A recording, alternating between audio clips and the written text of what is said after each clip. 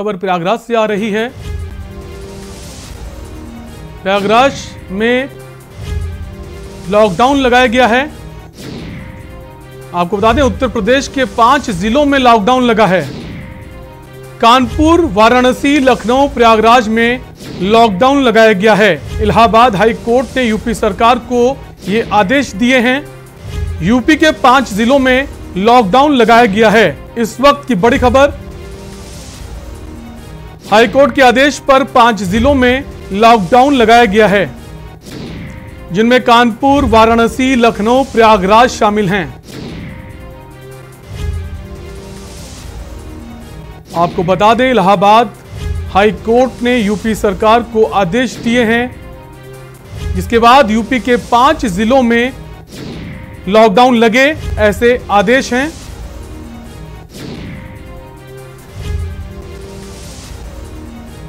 आपको बता दें, आज ही सीएम योगी आदित्यनाथ ने एक मीटिंग की थी वर्चुअल, जिसमें उन्होंने कहा था, अभी लॉकडाउन लगाने का ऐसा कोई फैसला नहीं है, ऐसी कोई ऐसा अंदेशा नहीं है। लेकिन अब हाईकोर्ट के आदेश पर पाँच जिलों में लॉकडाउन के आदेश हैं, जिनमें कानपुर, वाराणसी, लखनऊ शामिल है।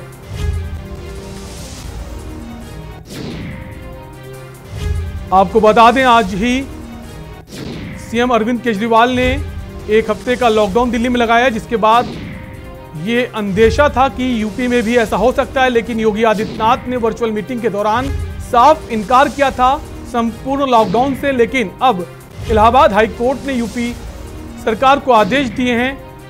यूपी के पाँच जिलों में लॉकडाउन के आदेश हैं, जिनमें कानपुर, वाराणसी, लखनऊ शामिल है।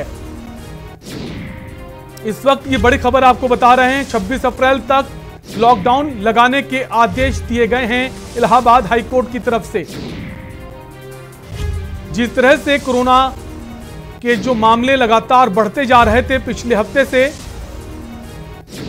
उसको देखते हुए सरकार ने अब पाँच जिलों में लॉकडाउन लगाया है।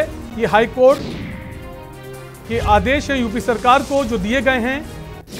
पाँच जिलों में, जिनमें कानपुर, वाराणसी, लखनऊ, प्रयागराज और गोरखपुर भी शामिल है।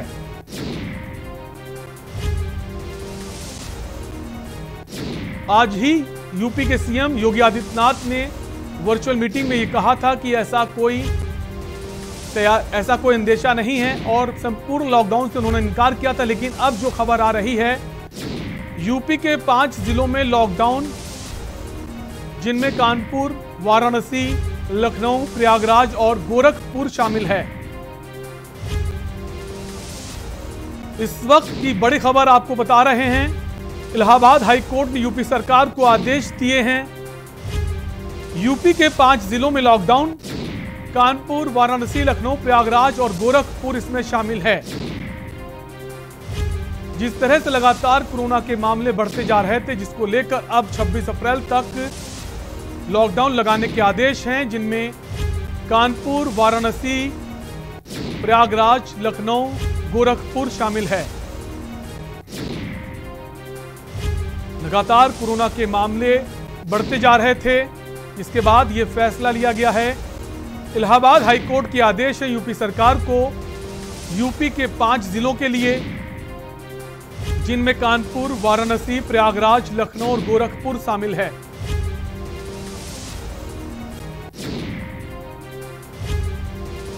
आपको बता दें, विगत दिनों से जिस तरह से कोरोना संक्रमण के मामले बढ़ते जा रहे थे, इसको देखते हुए इलाहाबाद हाई कोर्ट का ये आदेश आया है, जिसमें पाँच जिलों में लॉकडाउन के आदेश दिए गए हैं, जिनकी अवधि 26 अप्रैल तक है।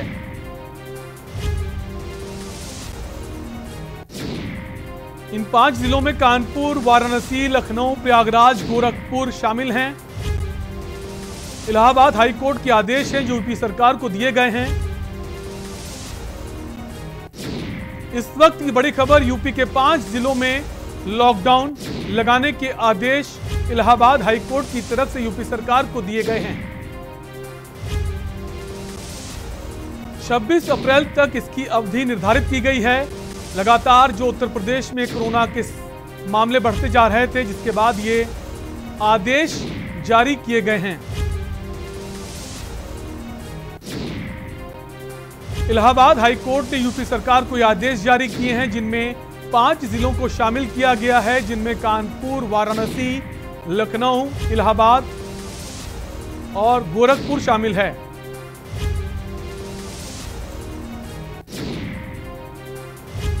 यूपी के पाँच जिलों में 26 अप्रैल तक लॉकडाउन के आदेश दिए गए हैं।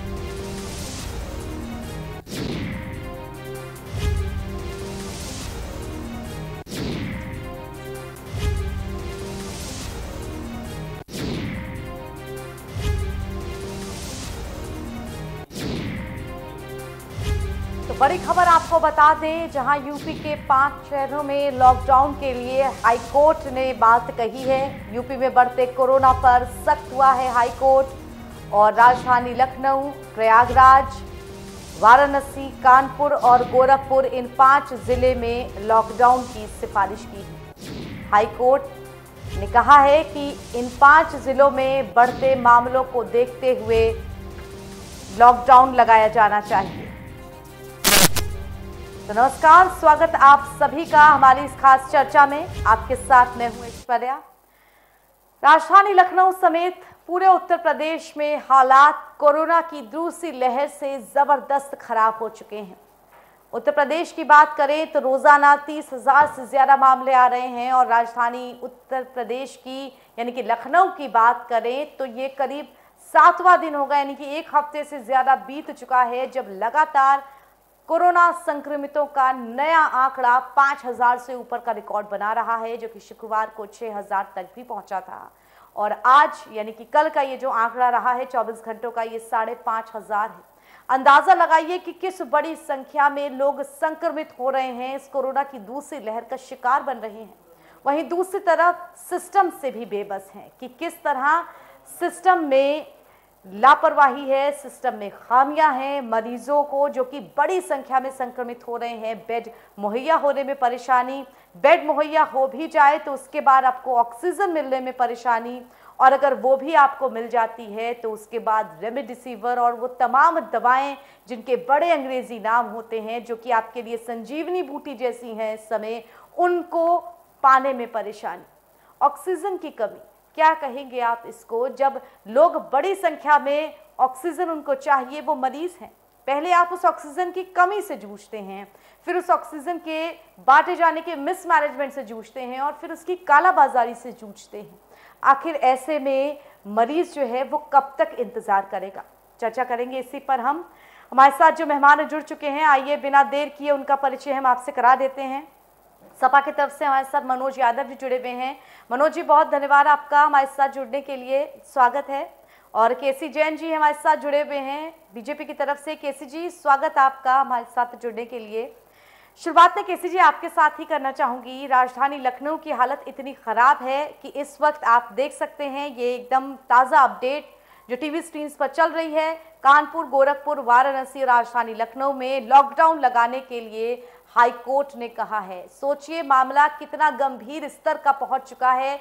कभी उम्मीद नहीं की गई थी कि पहले लॉकडाउन जिसमें लोगों की नौकरियाँ गई, व्यापार ठप हुआ, इतना जद्दोजहद हमको करनी पड़ी। लेकिन क्या हम एक साल, यानी कि तीन सौ पैंसठ दिन की सुई घूम के वापस उसी जगह पर आ चुके हैं कि आज भी वही स्वास्थ्य सुविधाएँ लचर या नदारत और फिर से लॉकडाउन की स्थिति से हमको जूझना पड़ रहा है? कैसे जी? तो यह है कि ये बात सही है कि कोरोना दिन प्रतिदिन अपने पैर फैलाता चला जा रहा है। और उत्तर प्रदेश में माननीय मुख्यमंत्री योगी आदित्यनाथ जी स्वयं कोविड से ग्रसित हैं। उसके बाद में भी लगातार अधिकारियों के साथ, स्वास्थ्य विभाग के अधिकारियों के साथ में, डॉक्टर्स के साथ में लगातार वो मीटिंग कर रहे हैं। और इन स्थितियों पे पूरे प्रदेश में कंट्रोल के लिए लगातार दिशा निर्देश भी जारी कर रहे हैं और अपनी पूरी नज़र भी उस पर बनाए हुए हैं।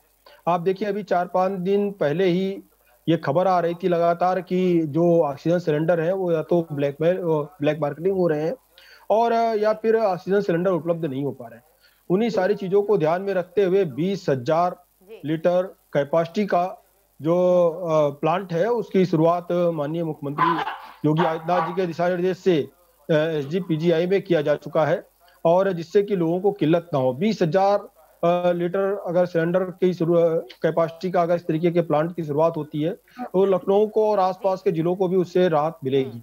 साथ ही साथ माननीय मुख्यमंत्री राजनाथ सिंह जी ने भी डीआरओ डीआरडीओ के तहत पाँच हज़ार लीटर का जंबो सिलेंडर यहाँ लखनऊ में भेजा है क्योंकि वो उनका सांसदीय क्षेत्र भी है। तो माननीय रक्षा मंत्री राजनाथ सिंह जी ने भी लखनऊ की तरफ़ पूरा ध्यान दिया है और यहाँ पे पाँच हज़ार लीटर की कैपेसिटी का सिलेंडर यहाँ पे भेजा गया है। तो लगातार उस पर काम हो रहा है लेकिन देखिए ऐश्वर्या जी सबसे बड़ी बात यह है कि कोरोना से जो बचाव के तरीके हैं उन पे हम लोगों को ध्यान देने की आवश्यकता है। और इसीलिए माननीय मुख्यमंत्री जी ने सैनिटाइजर हम्म, देखिए केसी जी ध्यान देने की आवश्यकता प्रशासन को ही है सरकार को ही है। बात वही गोल घूम करके आती है कि जब पिछली बार लॉकडाउन लगा था और हम सबको पता था कि परिस्थितियाँ इतनी बिगड़ चुकी हैं, फिर ऑक्सीजन जैसी मूलभूत चीज़ के लिए भी आम आदमी इतनी जद्दोजहद कर रहा है। आखिर ये प्लांट जो अब लगवाया जा रहा है, ये सारी चीज़ें जो अब की जा रही हैं, ये पहले भी तो युद्ध स्तर पे हो सकती थी। क्या कि जब केसेस लगातार बढ़ रहे हैं तो हमें आवश्यकताएँ जो है बढ़ती चली जा रही है और आवश्यकताओं की पूर्ति के लिए उस तरीके के संसाधन हमको जुटाने पड़ रहे हैं। जो भयावह स्थिति वास्तव में कायम हुई है, इस स्थिति का तो अंदाज़ा बिल्कुल नहीं था कि पाँच हज़ार केसेस जहाँ पूरे उत्तर प्रदेश में एक समय था निकल रहा, निकल रहे थे, वहाँ पाँच हज़ार केसेस की संख्या अगर सिर्फ़ और सिर्फ़ लखनऊ में पहुँच जाएगी तो व्यवस्थाओं को जुटाने में थोड़ी सी दिक्कत तो होगी। अभी आपने बताया कि अगर दस दिन का एक एवरेज रख ले तो लगभग पाँच केसेस लखनऊ में आ रहे हैं। तो दस दिन में पचास हज़ार केसेज की संख्या हो गई।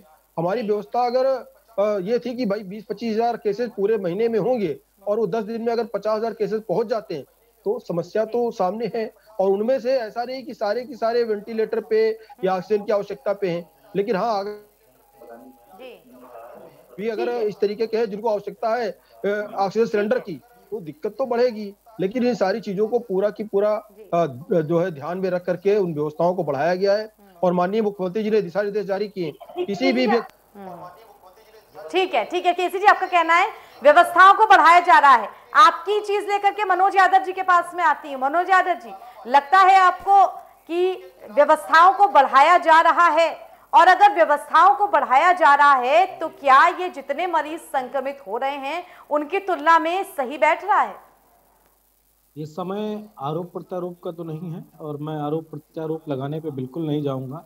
लेकिन एक मूलभूत जो बात है सरकार से सवाल पूछना ये हमारी भी ज़िम्मेदारी है के न्यूज़ की भी ज़िम्मेदारी और आम जनता की भी ज़िम्मेदारी। वो सरकार से सवाल ज़रूर पूछेगी क्योंकि सरकार इस वक्त सरकार में है ज़िम्मेदारी आपको जनता ने सौंप रखी है। जनता पे आरोप अब कोई भी सरकार नहीं लगा सकती है। मैं जिस तरीके से पूरे भारत के तमाम सारे देशों के जहाँ चुनाव चल रहा है, उसको छोड़ के, जिस तरीके से आम जनमानस ने, व्यापारिक वर्ग ने और आम जनमानस ने अपने आप को सिकोड़ लिया है, अपने आप को बंधक बना लिया, अपने आप को कमरे में कैद कर लिया है बिना लॉकडाउन के, इससे बड़ा दूसरा मुझे नहीं लगता है कि विश्व के किसी देश में इस तरह की स्थिति स्वयं से बनी हो। लेकिन चूँकि अभी अभी आपके टीवी पे चला कि पाँच जिलों में माननीय हाईकोर्ट के आदेश पे लॉकडाउन 25-26 तारीख तक के लिए लगा दिया गया है। हम्म। हम स्वागत करते हैं। माननीय हाईकोर्ट का उन्होंने प्रदेश के लोगों की जान की हिफाजत के बारे में समझा तो उन्होंने लॉकडाउन लगा दिया। सरकार को समझ में नहीं आता है। सरकार को ये समझ में आता है कि सब कुछ ऐसा चलता रहेगा। तो मैं सरकार से एक बात कहना चाहता हूँ। सरकार क्या ये सोच रही है कि कोरोना महामारी कोई चुनाव है? कि हम अगर एक बार जीत जाते हैं देश का चुनाव है एक बार मोदी जी जीत गए तो ऑल इज़ वेल हो जाता है। ऐसा तो है नहीं।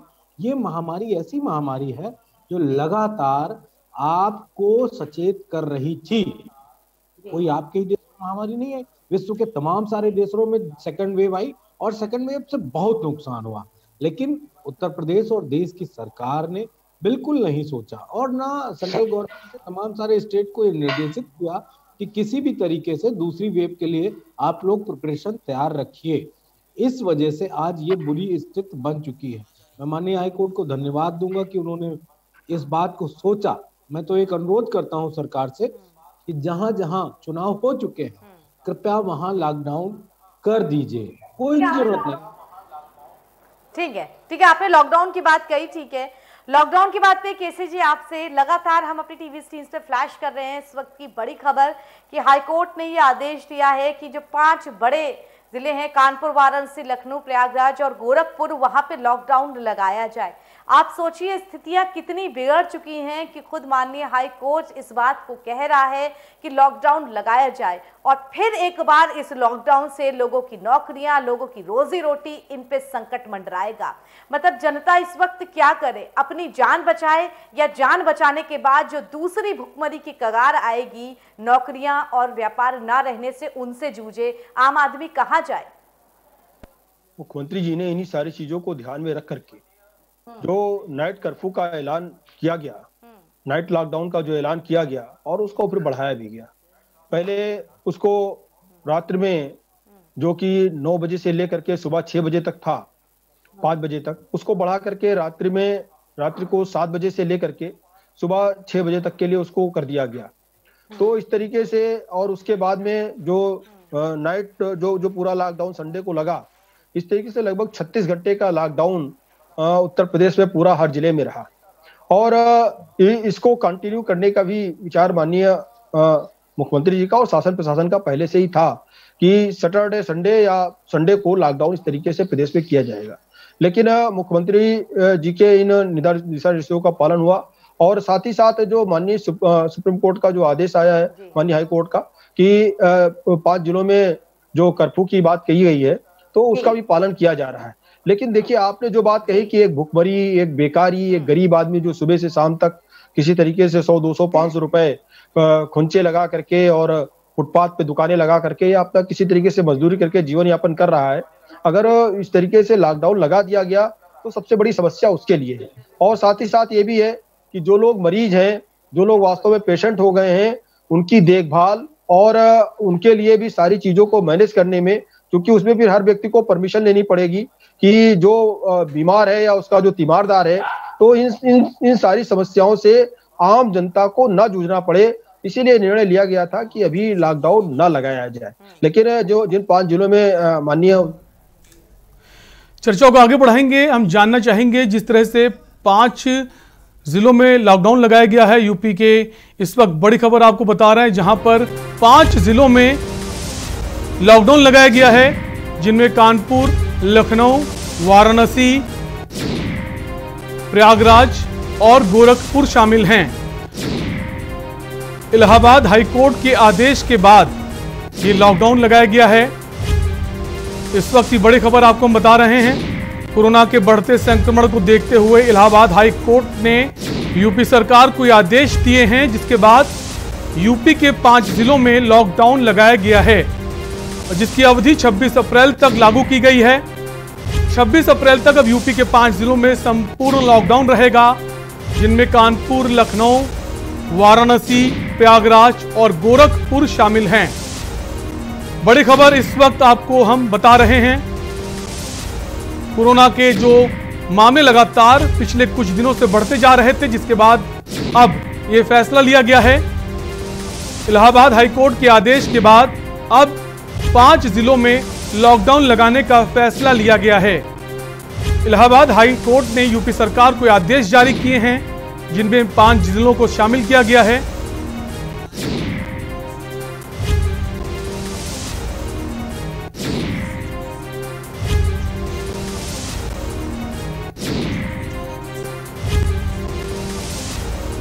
आपको बता दें, जिस तरह से यूपी के इन पाँच जिलों में सबसे ज़्यादा केसेस सामने आ रहे थे। सबसे ज़्यादा लखनऊ थे, उसके बाद कानपुर, जहाँ ज़्यादा ऑक्सीजन की कमी थी, जहाँ संक्रमण ज़्यादा था, उसके आधार पर हाईकोर्ट इन पाँच जिलों को शामिल किया है। जिनमें कानपुर है, लखनऊ है, प्रयागराज, गोरखपुर, वाराणसी।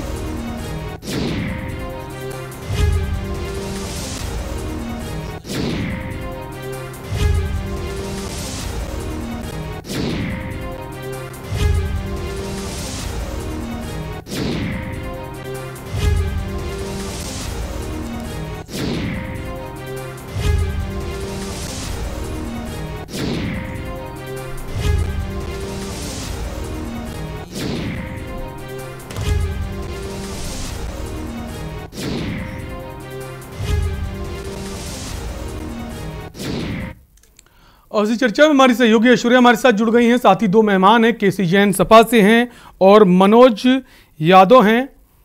आप दोनों ही मेहमानों का बहुत बहुत स्वागत है। जिस तरह से लगातार यूपी में केसेस बढ़ते जा रहे थे, अब इलाहाबाद हाई कोर्ट ने यह आदेश दिया है। कितना, कितनी बड़ी चुनौती के तौर पर देखते हैं? केसी जैन जी, आपसे जानना चाहेंगे। देखिए, ये तो माननीय जो न्यायालय का आदेश है, उसका सरकार पालन करा रही है और पाँचों जिलों में लॉकडाउन लगाया जा रहा है। लेकिन इसके पहले आप देखिए कि संडे को पूरा फुल लॉकडाउन माननीय मुख्यमंत्री जी के दिशा निर्देश के बाद पूरे प्रदेश में लगाया गया। और इसके पहले चूँकि नाइट कर्फ्यू तो था ही था, इस तरीके से 36 घंटे का पूरा लॉकडाउन लगाया गया, जिससे कि जो कोरोना की चैन है और जो संक्रमण की चैन है, इसको तोड़ा जा सके। और जहाँ जहाँ पे केसेस ज़्यादा आ रहे थे जहाँ पे भी दस केसेस से ज़्यादा है जिस भी मोहल्ले में जिस भी क्षेत्र में जिस भी कॉलोनी में वहाँ की पूरे की पूरे एरिया को सैनिटाइज करने का काम भी लगातार किया जा रहा है। तो ये सारी तैयारियाँ लेकिन पहले से हैं। अभी दोपहर में ही सीएम योगी आदित्यनाथ ने वर्चुअल मीटिंग की थी जिसमें उन्होंने किसी भी लॉकडाउन से इनकार किया था। आनंद फानन में यह फैसला लिया गया। क्या उनको नहीं पता था कि इलाहाबाद हाई कोर्ट की तरफ़ से ऐसे आदेश आ सकते हैं या फिर अचानक से ऐसे आदेश आए? देखिए लॉकडाउन चूँकि संडे को पहले से लगाया जा चुका था, एक तरीके का ट्रायल पहले से हो चुका था प्रदेश में तो लॉकडाउन लगाने में कोई दिक्कत नहीं है। लेकिन मेन बात यह है कि जो गरीब आदमी है, जो बेरोजगार आदमी है, जो सुबह से शाम तक, हमने पहले ही आपसे जैसे कि कहा कि छोटे छोटे दुकानदार हैं, खुंचे वाले हैं, फुटपाथ पे बैठने वाले हैं तो ऐसे में फल वाले हैं, सब्ज़ी वाले हैं, और कोई इस तरीके के जो छोटे मोटे दुकानदार है उनको क्या है कि उनको इस लॉकडाउन के बाद में माननीय न्यायालय के आदेश के बाद में वो बिना परमिशन के, उनके पास बिना परमिशन के वो लोग इस तरीके से घूम घूम करके फल, सब्ज़ी इन सब चीज़ों का भी वितरण नहीं कर सकते। दूध वाले और जो ज़रूरी आवश्यकता, आवश्यक वस्तुएँ हैं, क्योंकि इसकी आड़ में भी लोग निकलते हैं। तो इन सारी चीज़ों को ध्यान में रख करके अब क्या है कि इन सारी चीज़ों को उनको न जूझना पड़े। जो तीमारदार है, उसको ना जूझना पड़े। अगर किसी के घर का कोई एडमिट है तो और वो किसी को दिखाने जा रहा है तो उसके पास पर्चे होने चाहिए, उसके पास परमिशन होनी चाहिए। या फिर उसके पास कोई आवश्यक कार्ड होना चाहिए, उसके पास कोई कार्ड होना चाहिए। तो इन सारी चीज़ों को ध्यान में रख करके कि आम आदमी को कोई दिक्कत ना हो। लेकिन इसीलिए कैसी जैन साहब सबसे बड़ा सवाल ये उठता है जो रोज खाने कमाने वाले हैं जो रेहड़ी वाले हैं जो जिनका काम ही है सुबह जितना कमाते हैं उतना खाते हैं उनके लिए क्या सरकार कुछ मदद करेगी? क्योंकि सात दिन बहुत होते हैं एक आम आदमी के लिए। देखिए अभी तक क्या है कि विपक्ष जिस प्रकार से पिछले लॉकडाउन की जिस प्रकार से आलोचना कर रहा था और तब हमारे पास संसाधन भी नहीं तब हमारे पास मजबूरी थी कि लॉकडाउन लगाना। आज हमारे पास मास्क सैनिटाइजर सोशल डिस्टेंस सारी चीज़ें हमको पता है। साथ ही साथ हमारे पास हॉस्पिटल्स भी हैं। जांचें भी हमारे पास बहुत तेज़ी से हो रही तब हमारे पास किटें भी नहीं थी जाँच करने के लिए। आठ ढाई लाख जांचें सिर्फ़ उत्तर प्रदेश में हो रही हैं। लेकिन साहब अगर बात करें आज ही के दिन केजीएमयू और एक और हॉस्पिटल को कोरोना हॉस्पिटल बनाया गया है लेकिन अभी भी वहाँ पर ऑक्सीजन नहीं है। देखिए और रेफरल रेफरल लेटर के बिना वो एडमिट नहीं कर रहे हैं। रेफरल लेटर के लिए आपका जो कोरोना कमांड सेंटर है काफ़ी लोग वहाँ भटक रहे हैं। उनका सुबह से शाम तक रेफरल लेटर लेटर नहीं मिल पा रहा है ताकि उनकी एंट्री हो सके एडमिट हो सके वो। जी जी देखिए बीस हज़ार लीटर का एसजीपीजीआई में नया प्लांट शुरू कर दिया गया है।